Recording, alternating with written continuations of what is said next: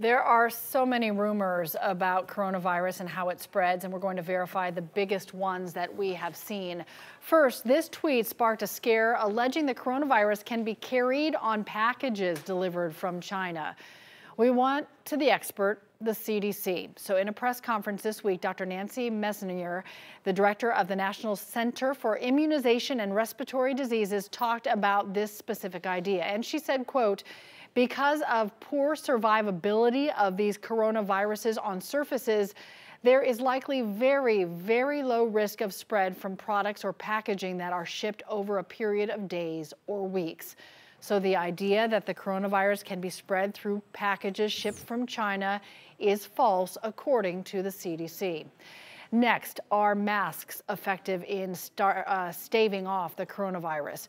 We've seen a lot of people in Asia and airports wearing masks, and again, we relied on the CDC to answer this one for us. The special respirator masks worn by healthcare workers called N95 respirators block out 95% of airborne particles, including coronavirus.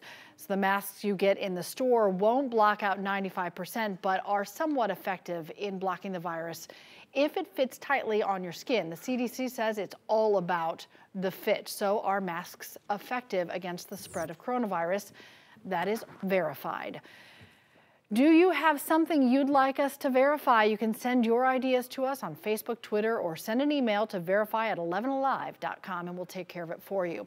We know there are a lot of questions about the virus on our 11 Alive Facebook page. We are posting everything you need to know, including symptoms and the latest warnings we're getting from the CDC on 11alive.com. You'll also find it on our new 11 Alive app.